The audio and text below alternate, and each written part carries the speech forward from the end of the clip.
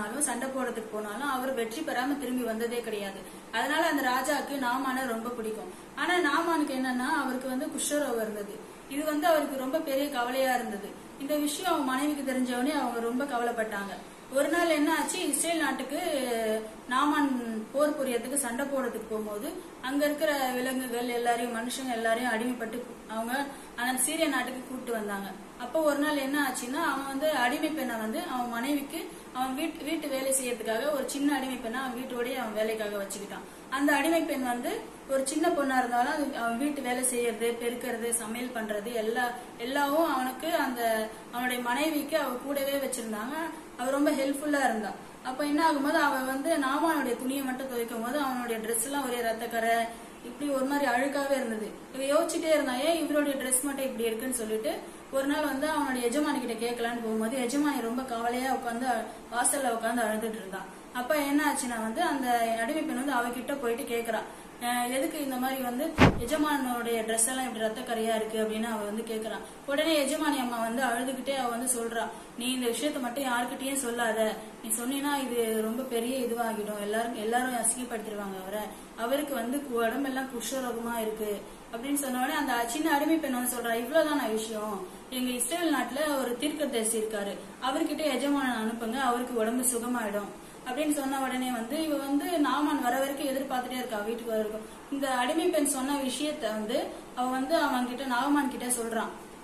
சொன்ன உடனே என்ன ஆகுதுன்னா நான் எதுக்கு போகணும்? நான்லாம் போக மாட்டேன். அப்படின்னு சொல்லிட்டு அவன் கேர்லெஸ்ஸா வந்து சாதாரணமா சொல்றான். இவ த- இவ வந்து திரும்ப திரும்ப வேண்டி கேட்ட போது சரி நாளைக்கு பார்க்கலாம். அப்படின்னு சொல்லி சொல்றான். உடனே வந்து நாம என்ன பண்றேன்? நான் அடுத்த நாள் தூங்கி எழுந்துட்டு உன்னுடைய ராஜா கிட்ட போயிட்டு சொல்றான். இந்த மாதிரி அந்த இஸ்ரேல் நாட்டுல ஒரு தீர்க்கதரிசி இருக்காராம் அவர்கிட்ட நான் போகணும் அப்படின்னு சொன்ன உடனே உடனே வந்து அந்த ராஜா வந்து ஒரு லெட்டர் எழுதி அந்த நா- சீரியா நாட்டு ராஜாவுக்கு லெட்டர் எழுதி கொடுக்கறாரு. அந்த லெட்டர்ல வந்து இவரு இவரு நாமான் என்ன பண்றாருன்னா இவருடைய குதிரைகள் படைகள் வெள்ளி காசு இந்த இந்த காணிக்கையெல்லாம் எடுத்துக்கிட்டு வெள்ளி தங்க காசு காணிக்கையெல்லாம் எடுத்துக்கிட்டு அந்த நாட்டுக்கு தன்னுடைய படை வீரர்களோட போறான். அந்த இவர் எழுதிய லெட்டரை எடுத்து அந்த ராஜா அந்த இஸ்ரேல் நாட்டு ராஜா ஓபன் பண்ணி பார்த்தா அந்த லெட்டர்ல வந்து என்னுடைய படை தளபதி உங்க நாட்டுக்கு வராரு. அவர் வந்து இந்த மாதிரி வந்து அவருக்கு குஷ்டரோகம் இருக்கு. நீங்க தான் இதை சரி பண்ணி அனுப்பணும்னு சொல்லிட்டு அவர் வந்து இந்த மாதிரி வராரு. இது பார்த்துட்டு அந்த நாட்டு ராஜா பார்த்துட்டு என்ன நான் என்ன கடவுளா? நான் எப்படி இதை சரி பண்றது? இவங்க என்கிட்ட சண்டை போடுறதுக்காகவே இந்த மாதிரி வேணும்ட்டு வந்திருக்காங்க. அப்படின்னு பார்த்துட்டு அவர் இந்த ராஜா வந்து ரொம்ப சட்டையெல்லாம் கிழிச்சுக்கிட்டு ரொம்ப அழுது கஷ்டப்பட்டு அவர் கவலைப்படுறாரு. இத இந்த விஷயத்த எலிசா கேள்விப்பட்டு அந்த தீர்க்கதரிசி கேள்விப்பட்டு நீங்க என்கிட்ட வந்து அவரை நாமான் அனுப்புங்கன்னு சொன்ன உடனே நாமான் வந்து அந்த தீர்க்கதரிசி வீட்டுக்கு போறாரு. வீட்டு வாசலே நிக்கும் போது நாமானுக்கு ஒரு சத்தம் கேக்குது. நீ யோர்தான் நதிக்கரையில போயிட்டு ஏழு தடவை மூழ்கி எழுந்திருச்சு வா உனக்கு சுகம் கிடைக்கும்னு சொல்றாரு. உடனே நாமன் யோசிக்கிறாரு ஏன் எங்க ஊர்ல எல்லாம் நதிக்கரை இல்லையா இதை விட அழகான நதிக்கரை இருக்கு நல்ல நதிக்கரை இருக்கு. நான் அங்க முழக்கூடாதா அப்படின்னு சொல்லிட்டு நாமன் ஃபர்ஸ்ட் யோசிக்கிறாரு. அதுக்கப்புறமா வந்து இல்ல நான் செய்ய மாட்டேன் அப்படின்னு சொல்லிட்டு திரும்பி நாட்டுக்கே வரலான்ட்டு பாதி வழியில வந்துட்டு இருக்கும்போது அவனுடைய வேலைக்காரன் சொல்றான். தலைவரே நீங்க நில்லுங்க. நீங்க வந்து இவர் வந்து ஒரு சின்ன காரியம் தானே சொல்றாரு. நீங்க பெரிய க- விஷயமா தான் நீங்க செஞ்சுட்டு இருப்பீங்க சின்ன விஷயம். அதை விட நீங்க சுலபமாவே செய்யலாம். ஒரு தடவை செஞ்சு பாருங்கன்னு சொல்லி அவனை கெஞ்சி கேட்கிறாரு அப்ப வந்து நாகமான் என்ன பண்றான்? சரி இவர் சொல்றாருன்னு சொல்லிட்டு அந்த யோர்தான் நதிக்கரையில வந்து ஏழு தடவை ஃபர்ஸ்ட் முதல் தடவை மூழ்கி எழுந்திருக்கும் போது வந்து அவனுக்கு எதுவும் சரியாகல. ரெண்டாவது தடவை மூழ்கி எழுந்திருக்கான் அதே மாதிரியே தான் இருக்கு. இதே மாதிரி ஏழாவது ஒரு யோர்தான்ல மூழ்கி எழுந்திருக்கும் போது அவனுடைய ஸ்கின்ல வந்து சின்ன பிள்ளைங்க ஸ்கின் போல ஃபுல்லா அவனுக்கு சுகம் கிடைச்சிருது. இவன் இதை பார்த்துட்டு ரொம்ப சந்தோஷப்பட்டு ஆனந்தப்பட்டு குதிக்கிறான். உடனே அந்த தீர்க்கதரிசி கிட்ட போயிட்டு அவன் நன்றி சொல்லி இந்த மாதிரி உங்க ஆண்டவர் தான் உண்மையான கடவுள். இனிமே நானும் அவரையே வணங்குவேன்னு சொல்லிட்டு அவனுக்கு நன்றி சொல்றான். இதுல இருந்து நமக்கு என்ன தெரியுதுன்னா அவன் அவன் நாமன் கீழ்படிச்சதுனாலதான் அவனுக்கு சுகம் கிடைச்சது. இயேசு வந்து ஒரு பெரிய கடவுள். அவர் வந்து தன்னுடைய பிதாவுடைய சித்தத்தை செய்யறதுக்காக பிதாவுக்கு கீழ்ப்படிஞ்சு அவரே வந்து நம்ம நம்முடைய பாவங்களை கழுவுறதுக்கு பூலோகத்துல இறங்கி வந்தார். அப்படி இயேசுவை கீழ்ப்படியும் போது நாமெல்லாம் கீழ்ப்படியணும். அதே போல நீங்களும் உங்களை பெற்றோர்களுக்கு உங்களுடைய டீச்சர்ஸ்க்கு உங்க உங்களோட ரிலேஷனுக்கு எல்லாருக்கும் நீங்க கீழ்ப்பட் கீழ்ப்படிஞ்சு நடக்கணும். அப்படி நடந்தாக்கா வந்து உங்களுக்கு தேவையானது எல்லாமே ஆண்டவர் கொடுப்பாரு. ஹாய் ஃப்ரெண்ட்ஸ் அஞ்சு ஆக்ஷனில் மெமரிஸ் கற்றுக்க போகிறோம் கற்றுக்கலாமா அந்த வேர்ஸ் எங்கே இருக்குன்னா ஒன்று சாமுவேல் பதினஞ்சு இருபத்தி ரெண்டு என் கூட சேர்ந்து சொல்கிறீங்களா ஒன்று சாமுவேல் பதினஞ்சு இருபத்தி ரெண்டு வலியை பார்க்கிலும் கீழ்ப்படிதலும் ஆட்டுக்கடாவின் இனத்தை பார்க்கிலும் செவி கொடுத்தலே உத்தமம். என் கூட சேர்ந்து சொல்கிறீங்களா வலியை பார்க்கிலும் கீழ்ப்படிதலும் ஆட்டுக்கடாக்களின் இனத்தை பார்க்கிலும் செவி கொடுத்தலே உத்தமம். ஓகே ஃப்ரெண்ட்ஸ் இப்போ நம்ம இங்கிலீஷில் கற்றுக்கலாமா இங்கிலீஷ்ல எங்க இருக்குன்னா one Samuel chapter fifteen verse twenty two என் கூட சேர்ந்து சொல்றீங்களா one Samuel chapter fifteen verse twenty two Obedience is better than sacrifice and submission is better than offering the fat of rams. என் கூட சேர்ந்து சொல்றீங்களா Obedience is better than sacrifice and submission is better than offering the fat of rams. Okay friends.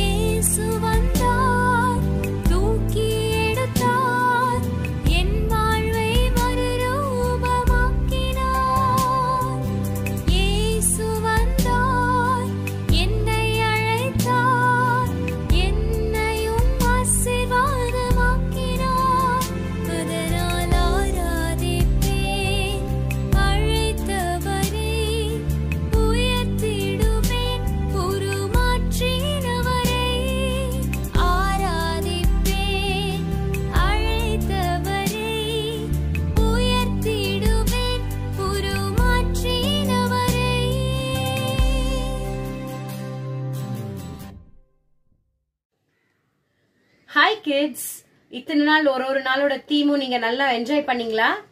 அதோட crafts எல்லாம் செஞ்சு பாத்தீங்களா okay இன்னையோட theme obey like Jesus இல்லையா? சோ ஒபே லைக் ஜீசஸ் அப்படிங்கிறதுக்காக நான் ஒரு கிராஃப்ட் யோசிச்சு வச்சிருக்கேன். நம்ம பைபிள்ல நிறைய அனிமல்ஸ் பேர்ட்ஸ் வந்து ஆண்டவருக்கு ஒபே பண்ணியிருக்கு. அதுல ஒண்ணுதான் ஃபிஷ் இல்லையா? யோனாவை வந்து கடல்ல போட போனப்போ அந்த ஃபிஷ் வந்து அழகா ஆண்டவர் சொன்னபடியே அந்த யோனாவை கேட்ச் பண்ணி அது மட்டும் இல்ல எந்த ஊருக்கு அவர் போய் சேரணுமோ அதே ஊர்ல போய் அவரை வந்து வாந்தி பண்ணி போட்டுச்சு அப்படின்னு ஒரு ஸ்டோரி இருக்கு. நீங்க எல்லாருமே கேட்டிருப்பீங்க. காகங்கள் கூட எலியாவுக்கு உணவு கொண்டு போய் கொடுத்துச்சு இல்லையா? சோ அது ரிலேட்டடா நான் இன்னைக்கு உங்களுக்கு ஒரு கியூட்டான ஃபிஷ் சொல்லி கொடுக்க போறேன். ஃபிஷ் எப்படி செய்யறதுன்னு பார்க்கலாமா? Come let's see the craft இந்த கிராஃப்ட்க்கு நமக்கு தேவையானது ஒரு A four sheet glue scissors ஒரு சின்ன எனி டிஃப்ரெண்ட் கலர் கான்ட்ராஸ்ட் கலரான ஒரு ஒரு சின்ன அட்டை. ஓகேவா இப்போ இந்த கிராஃப்ட் ஸ்டார்ட் பண்றதுக்கு இந்த ஏ ஃபோர் ஷீட்டை நம்ம ஸ்கொயர் ஷேப்ல கட் பண்ணிக்கணும் ஃபர்ஸ்ட் அதுக்கு என்ன பண்ணுவீங்க? இந்த மாதிரி ட்ரையாங்கிளா ஃபோல்ட் பண்ணிட்டு இந்த எக்ஸ்ட்ராஸை கட் பண்ணிடலாம். இப்போ இந்த எக்ஸ்ட்ராஸ் கட் பண்ணியாச்சு. கட் பண்ணதுக்கு அப்புறமா இந்த இப்படி இந்த இந்த கார்னரை நம்ம இப்படி கேட்ச் பண்ணிட்டு இந்த மாதிரி ஃபோல்ட் பண்ணிக்கணும். அகெயின் இதையும் ஃபோ- இப்படி ஃபோல்ட் பண்ணி இந்த மாதிரி இந்த எட்ஜ் ஷார்ப்பாக வச்சுக்கோங்க.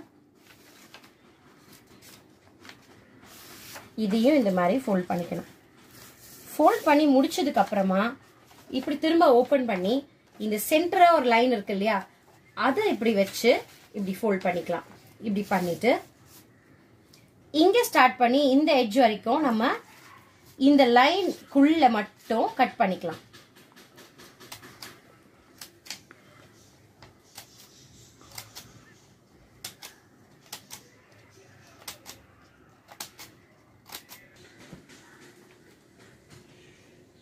இங்க கொஞ்சம் ஸ்பேஸ் மட்டும் விட்டுட்டு இது வரைக்கும் நம்ம ஃபுல்லா நம்ம இந்த லைன் வரைக்கும் என்ன பண்ணிட்டோம்? ஃபுல்லா கட் பண்ணிட்டோம். கட் பண்ணதுக்கு அப்புறமா இதை இப்படி எடுத்து இதை ஃபோல்ட் பண்ணி இங்க கொஞ்சோண்டு க்ளூ தடவிட்டு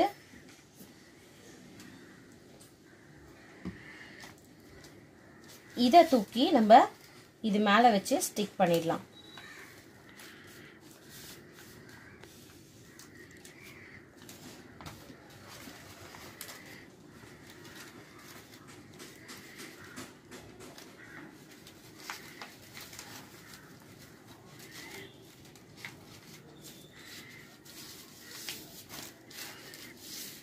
இந்த மாதிரி ஸ்டிக் பண்ணதுக்கப்புறம்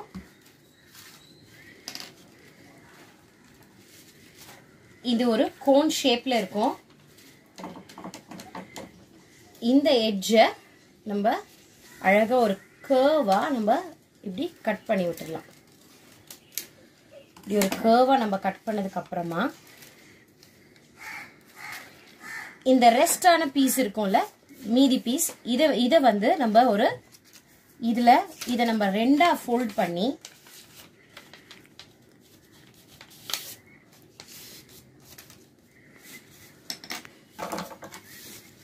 இங்க ஒரு கர்வ் வரைஞ்சுக்கோங்க. இந்த கர்வ் ஷேப்லயே நம்ம இத கட் பண்ணிக்கலாம். இப்போ நமக்கு இப்படி ஒரு ஷேப் கிடைச்சிடும் இதுக்கப்புறமா இந்த இடத்துல இப்படி ஒரு கொஸ்டின் மார்க் மாதிரி வரைஞ்சிக்கோங்க. ரெண்டு வரைஞ்சிக்கோங்க. இந்த ரெண்டையும் நம்ம இப்ப கட் பண்ணி எடுத்துக்க போறோம்.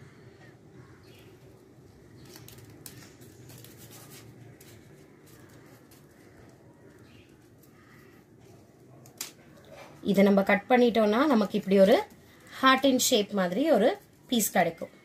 இது பத்திரமா வச்சுக்கோங்க.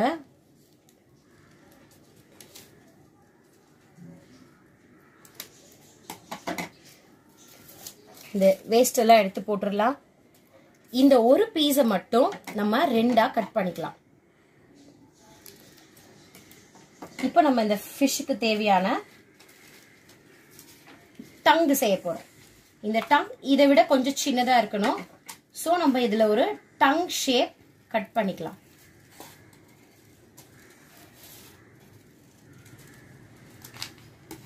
கட் பண்ணிட்டேன். இதை நான் க்ளூ போட்டு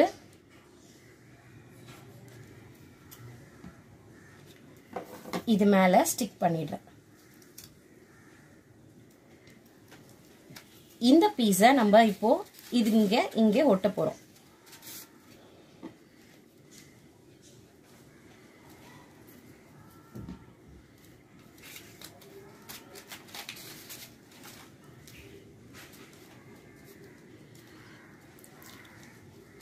இப்போ இந்த ஃபிஷ்ஷுக்கு ரெண்டு கூக்லி ஐஸ் எடுத்து வச்சிருக்கேன். ஐஸையும் நம்ம ஸ்டிக் பண்ணிடலாம்.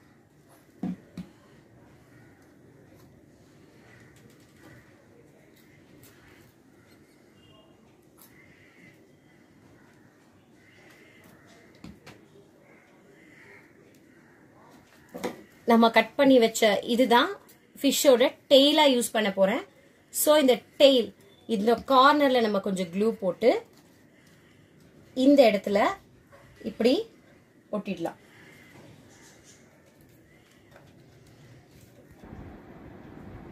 இப்போ இந்த ரெண்டு கட் பண்ணி வச்சிருக்கதையும் நம்ம இந்த ஃபிஷ்ஷுக்கு ஃபின்ஸ் மாதிரி ஓட்டிடலாம். இந்த கார்னர்ல கொஞ்சம் க்ளூ போட்டுக்கோங்க. ரெண்டுத்துலயும் இத வந்து இந்த இடத்துல. இது இந்த இடத்துல.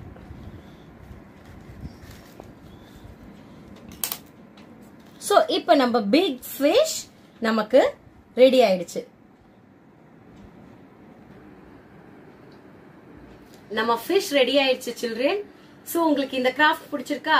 நீங்க இந்த கிராஃப்ட் செஞ்சு பாருங்க. இந்த பிக் ஃபிஷ் நீங்க உங்க வீட்ல செஞ்சு பாருங்க. ஓகே இந்த ஃபிஷ் ஆண்டவருடைய வார்த்தைக்கு ஒபே பண்ணி யோனாவை கரெக்டா வந்து கேட்ச் பண்ணுச்சு இல்லையா? சோ அதே போல நீங்களும் ஒபே லைக் ஜீசஸ் ஹலோ குட்டீஸ். உங்களை எல்லாம் இன்னொரு டைம் பார்க்கறதுல எனக்கு ரொம்ப சந்தோஷம். லாஸ்ட் ஃபைவ் டேஸாக நம்ம வந்து செம்ம ஜாலியான டைம் ஆண்டவர் நமக்கு கொடுத்தார் இல்லையா? மோர் லைக் ஜீசஸ் இயேசுவை போல் இன்னும் அதிகமாக நம்ம மாறுறதுக்கு ஜீசஸ் நமக்கு ஒரு சூப்பரான ஆப்பர்ச்சுனிட்டி கொடுத்தாரு. ஒவ்வொரு நாளும் ஜீசஸ் மாதிரி எப்படி இருக்கலாம் அப்படின்னு நம்ம கற்றுக்கிட்டே வந்திருக்கிறோம். அப்படி தானே ஆமேன் அப்போ இன்றைக்கி நம்ம ஜீசஸ் மாதிரி எப்படி ஒபீடியண்ட்டாக இருக்கணும் அப்படின்னு நம்ம இன்றைக்கி கற்றுக்க வந்திருக்கிறோம். தானே மெயின் சூப்பரில். அப்போ நீங்கள் உங்கள் வசனம் பாட்டு எல்லாமே உங்களுக்கு ரொம்ப பிரயோஜனமாக இருந்திருக்கும் அப்படின்னு நான் நினைக்கிறேன். ஸோ இன்றைக்கி ஒபே லைக் ஜீசஸ் அப்படின்னா என்ன அப்படின்னு சொல்லிட்டு ஒரு சில காரியம் நம்ம பார்க்க போகிறோம் ரெடியாக இருக்கீங்களா குட்டீஸ்? ரெடியா வெரி குட் பாருங்கள் பைபிளில் நோவா தாத்தாவுடைய கதை யாருக்கெல்லாம் தெரியும்? வெரி குட் எல்லாருக்கும் தெரியும் தானே? நோவா தாத்தா என்ன பண்ணார்? ஜீசஸ் வந்து அவர் நோவா தாத்தாவில் சொன்னார் இந்த உலகத்தில் இருக்கிற ஜனங்கள்லாம் ரொம்ப பாவம் செஞ்சுட்டு இருக்கிறாங்க. அதனால் இந்த உலகத்துடைய ஜனங்களுடைய பாவத்தை என்னால் சகிக்க முடியல. நான் என்ன பண்ண போகிறேன்னா இந்த முழு உலகத்தையும் நான் நான் மொத்தமாக அழிச்சிட போகிறேன் ஆனால் உன்னை மட்டும் நான் காப்பாற்ற போகிறேன் அப்படின்னு சொல்கிறாரு ஏன் நோவாவை மட்டும் ஆண்டவர் காப்பாற்றுறாரு தெரியுமா? ஏன்னா நோவா தாத்தா வந்து ஆண்டவருக்கு முன்பாக ரொம்ப உண்மையுள்ளவராக இருந்தார். அவர் ரெகுலராக ஜெபம் பண்ணார். அவர் ஹம்பிளாக இருந்தார். ஹெல்பிங் டெண்டன்சியோடு இருந்தார். எல்லாத்த விட முக்கியமாக நோவா தாத்தா ஆண்டவர் சொல்கிறதுக்கெல்லாம் இம்மீடியட்டாக ஒபே பண்ணுகிறவராக இருந்தார். ரொம்ப கீழ்ப்படிதலாக இருந்தார். அப்போ பாருங்க ஒரு நாள் ஆண்டவர் சொல்கிறாரு நீ உத்தமமாக இருக்கிறதுனால நான் என்ன பண்ணுற போகிறேன் உன்னையும் உன்னோட ஃபேமிலியும் காப்பாற்றுவேன் ஆனால் நீ ஒரு விஷயம் செய்யணும் அப்படின்னு சொல்லிட்டு சொல்கிறாரு நான் சொல்கிற மாதிரி ஒரு பெரிய ஷிப்பு நீ பில்டு பண்ணணும் அப்படின்னு சொல்கிறாரு அந்த ஷிப்புக்கு தமிழில் பேழைன்னு சொல்லுவாங்க இங்கிலீஷில் ஆர்க்குன்னு சொல்லுவாங்க. ஒரு பெரிய பேழையை நீ வந்து செய்யணும். அந்த பேழைக்குள்ளே நீ வந்து ஒழிஞ்சுக்கணும் அதே சமயத்தில் இந்த பூமியில் இருக்கிற எல்லா மிருகங்கள்லையும் அந்த பேழைக்குள்ளே நான் வர வச்சு எல்லாத்தையும் காப்பாற்ற போகிறேன் அப்படின்னு ஆண்டவர் சொல்கிறார் எல்லா மிருகத்துலேயும் சிலதில் ஒரு பேர் சிலதில் ரெண்டு பேர் அப்படி ஆண்டவர் வர வச்சு ஆண்டவர் ஒரு சில ஐ மீன் அந்த மிருகத்தோட ஸ்பீஷீஸ் ஸ்பீஷீஸ் எல்லாம் அவர் காப்பாற்ற போகிறார் இதில் என்ன விஷயம் அப்படின்னா போட் வந்து எங்கே செய்ய சொல்கிறார் அப்படின்னா பெரிய மலை மேலே செய்கிறாங்க போட் எங்கே ஓட்டுவாங்க யூஸ்வலாக கடலில் ஓட்டுவாங்க ஆற்றுல ஓட்டுவாங்க. ஆனால் ஆண்டவர் என்ன சொல்கிறாரு கடலில் ஆறு பக்கத்தில் செய்ய சொல்ல வேற ஒரு மலையில் செய்ய சொல்கிறாரு அப்போ நோவா தாத்தா வந்து கேள்வியே கேட்கல. இம்மிடியேட்டாக ஒபே பண்ணிவிட்டு சரி ஆண்டவரே நீங்கள் சொல்கிற மாதிரியே நான் செய்கிறேன் அப்படின்றார். அதில் இன்னொரு விஷயம் என்ன அப்படின்னா நோவா தாத்தா இருந்த டைம் வரைக்கும் மழை அப்படின்னு ஒன்று இருந்ததே கிடையாது. அவங்களாம் மழைனா என்னன்னு பார்த்ததே கிடையாது. அப்போ எப்படி செடி கொடியெல்லாம் வளரும் அப்படின்னா எவ்ரிடே மார்னிங் அந்த பனி நிறைய பெய்யும்.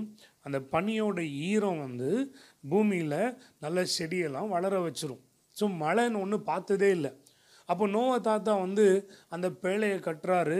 அப்போ எல்லாரும் வந்து கேட்குறாங்க எதுக்காக இப்படி பண்ணுறீங்க அப்படின்றப்போ அவர் சொல்கிறாரு எல்லாம் மனம் திரும்புங்க. ஆண்டவர் உங்கள் மேலெல்லாம் கோபமாக இருக்கிறாரு. பெரிய மழை வரப்போகுது. அப்போ அப்படின்னும் எல்லாம் கேட்குறாங்க மழைனா என்ன? அப்போ அவர் சொல்லியிருப்பார் வானம் திறந்து வானத்துலேருந்தே தண்ணி ஊற்றணும் எல்லாம் பயங்கரமாக சிரிச்சிருப்பாங்க.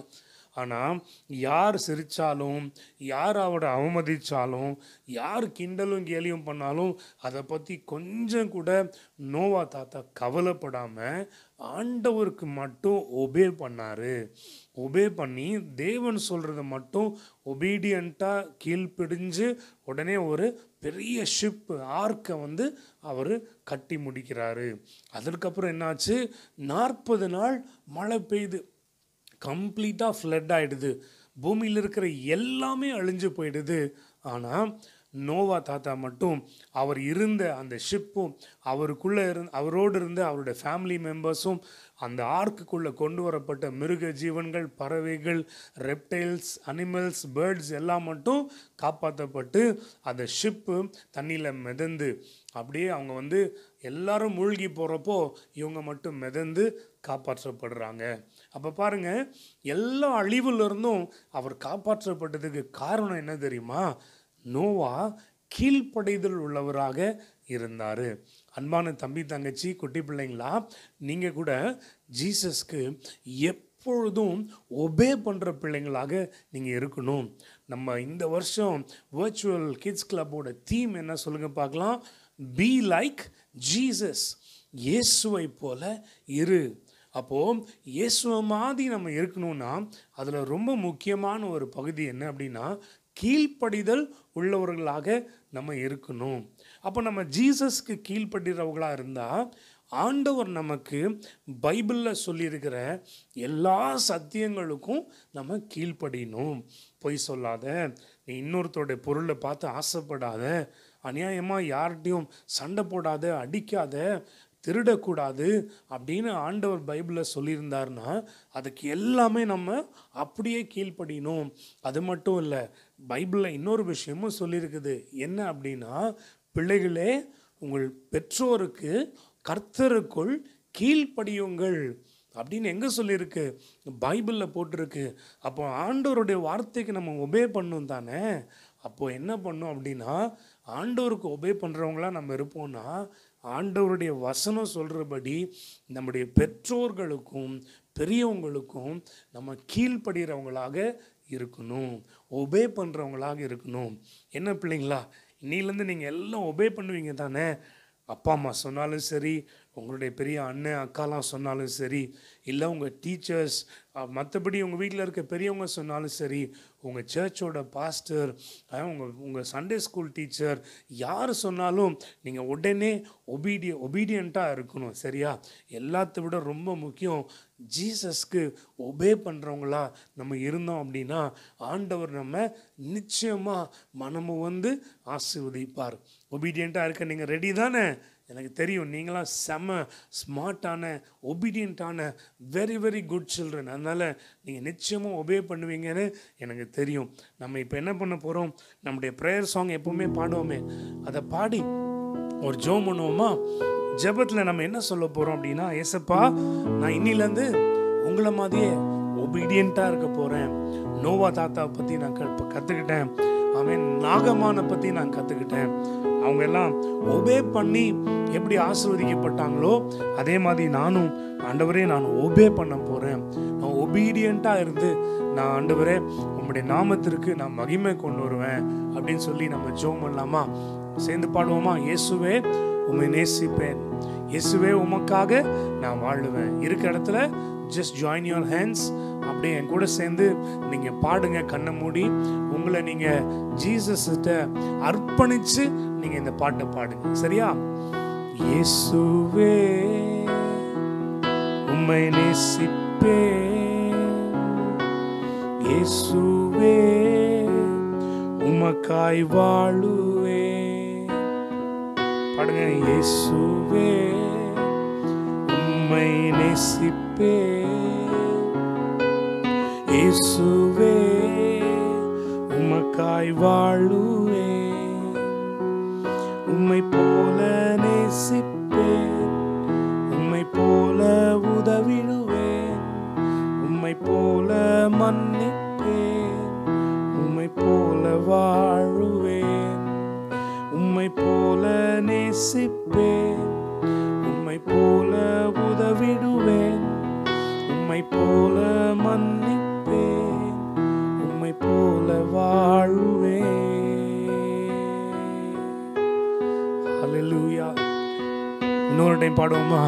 ஜீசஸ்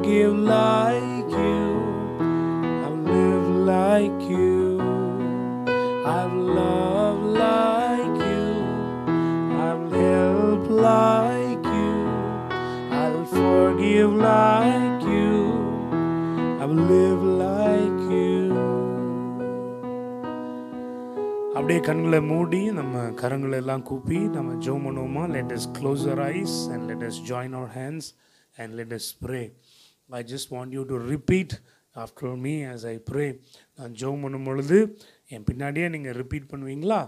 ஜோம் பண்ணலாம். அன்புள்ள இயேசு சுவாமி இந்த அருமையான நாளுக்காக நன்றி செலுத்துகிறோம். இந்த ஆறு நாட்களும் இயேசுவை போல வாழ நாங்கள் கற்றுக்கொண்டிருக்கிறோம். நாங்கள் கற்றபடியே வாழ உதவி செய்யுங்க விசேஷமாக உமக்கு கீழ்ப்படிந்து வாழ எங்களுக்கு கிருபை செய்யுங்க ஒவ்வொரு நாளும் உங்கள் சத்தத்தை கேட்டு அதற்கு கீழ்ப்படிந்து நாங்கள் வாழ எங்களுக்கு உதவி செய்யுங்க. கீழ்ப்படிதல் உள்ள ஒரு உள்ளத்தை எங்களுக்கு தந்திடுங்க. இயேசு சுவாமி உமக்கு நாங்கள் நன்றி செலுத்துகிறோம். இயேசு சுவாமி எங்களை உம்மை போலவே மாற்ற எங்களை ஒப்பு கொடுக்கிறோம். இயேசுவின் நாமத்திலே ஜெபிக்கிறோம். ஆமேன்.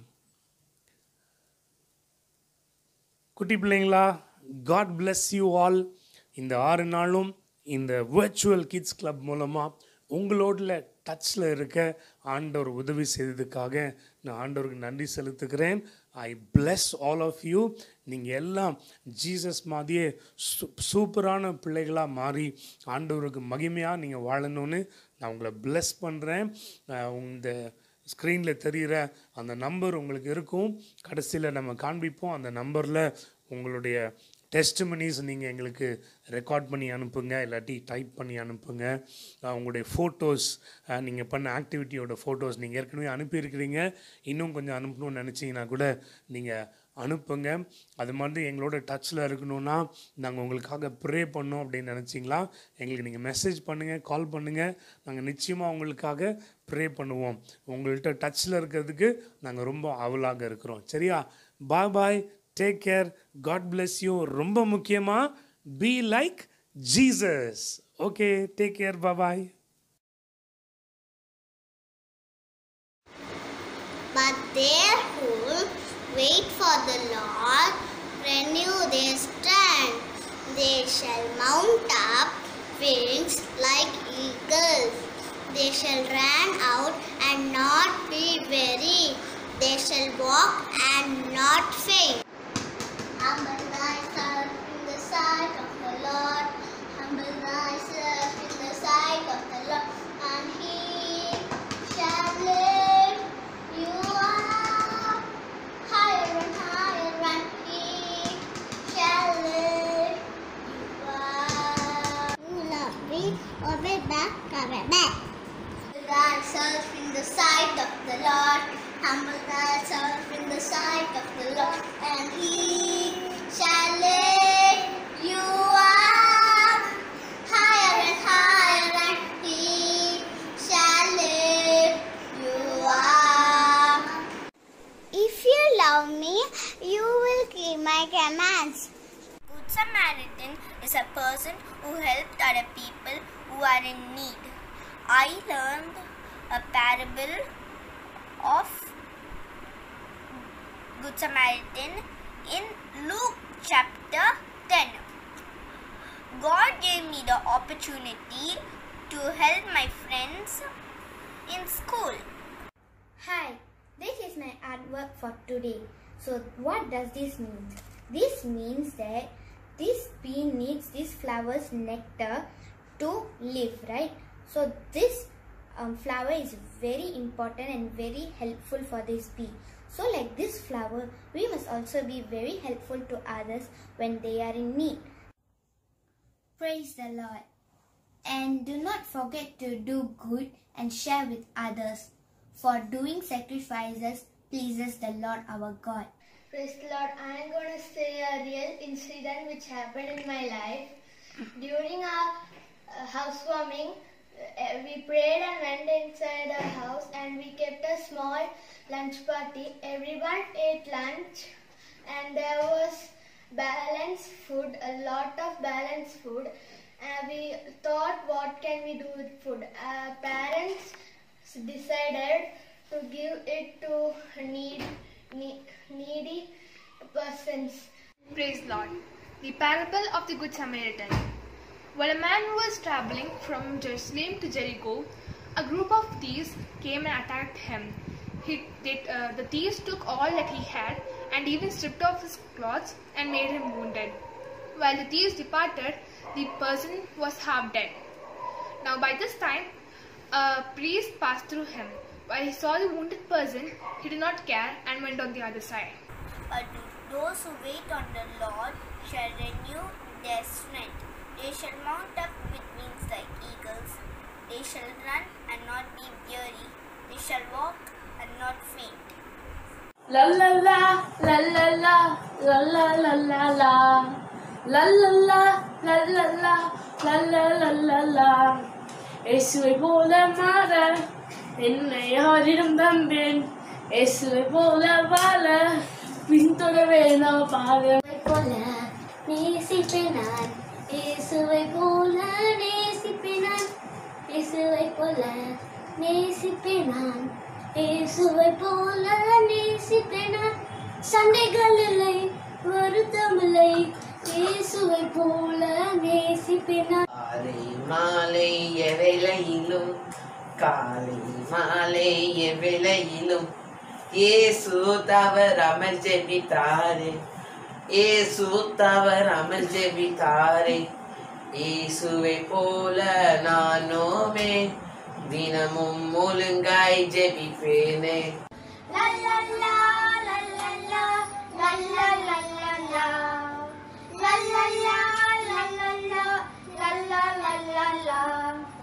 இயேசுவை போல மாற என்னை அவரிடம் தந்தேன். இயேசுவை போல வாழ பின்தொடர்வேன் அவர் பாதம் லல்லல்லா லல்லல்லா லல்லா லல்லல்லா லல்லல்லா லல்லல்லா லல்லா லல்லல்லா இயேசுவை போல மாற என்னை அவரிடம் தந்தேன் இயேசுவை போல வாழ பின்தொடர்வேன் அவர் பாதம் But do not forget to do good and to share. For such sacrifices, God is well pleased. Thank you. If you love me, you will keep my commandments. No one become like him, spirited or unspirited like Jesus, who for a single meal, meal of the right of the eldest son. Amen. இயேசுவை போல நேசிப்பேனா இயேசுவை போல நேசிப்பேனா இயேசுவை போல நேசிப்பேனா இயேசுவை போல நேசிப்பேனா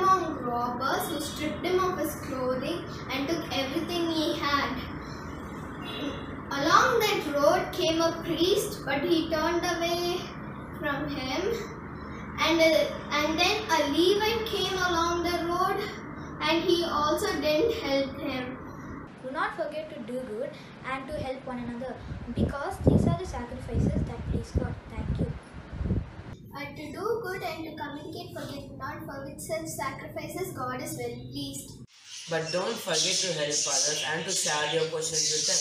This This too is like uh, offering a sacrifice that pleases God. Don't forget to help others and to share your possessions with them. This too, this too offering a sacrifice that pleases the Lord. Don't forget to help others and to share your possessions with them. This too like offering a sacrifice that pleases God. But do not forget to do good and to share, for with such sacrifices God is well pleased. Thank you. If you love me, you will keep my commandments. John 14, 15, மாலை எவ்விடையிலும் காலை மாலை எவ்விடையிலும் இயேசு தவறாம ஜெபித்தாரே இயேசு தவறாம ஜெபித்தாரே அவர் உடனே தினமும் ஒழுங்காய் செவித்தேன்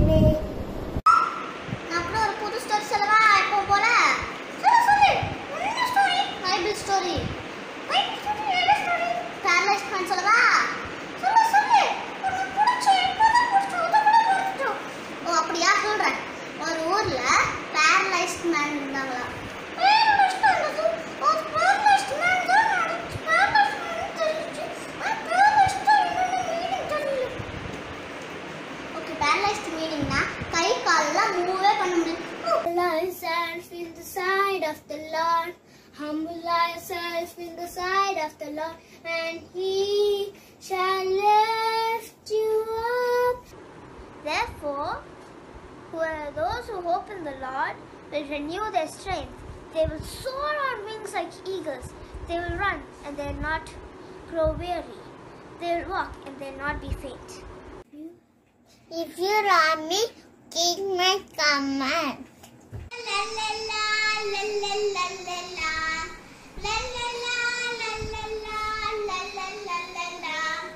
இயேசுவை போல வாழ என்னை அவன் தந்தேன். இயேசுவை போல வாழ பின்பற்றினேன் பாடம். The parable of a good Samaritan. Once there was a man who was going from Jerusalem to Jericho. Along the way, some robbers came and attacked him. He- They got everything he had and even his clothes, and leaving him half dead and half dead, and they ran away. After that, a priest who was walking by noticed the half dead man, but did not even bother to help him and just walked by the other way. If you love me, keep my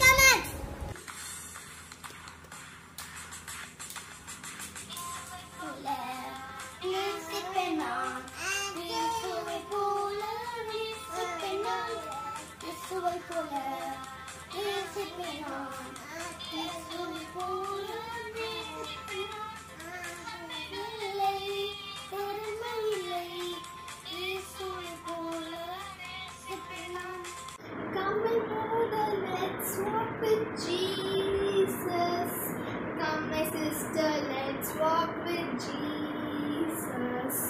will gently hold your hand. Lead you safe, he help you stand. ஒரு மனுஷன் எருசலேமிலிருந்து எரிகோவுக்கு போகையில் கள்ளர் கையில் அகப்பட்டான்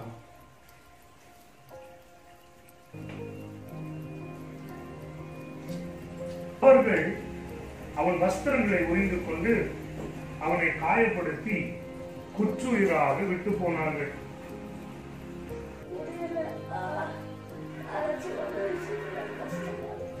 அப்பொழுது தற்செயலாய் ஒரு ஆசாரியன் அந்த வழியே வந்து அவனை கண்டு பக்கமாய் விலகி போனான் Humble thyself in the sight of the Lord. Humble thyself in the sight of the Lord, and He shall lift you up higher and higher, and He shall lift you up. Hi everyone. If you love me, keep my comments. John 1415, Thank you.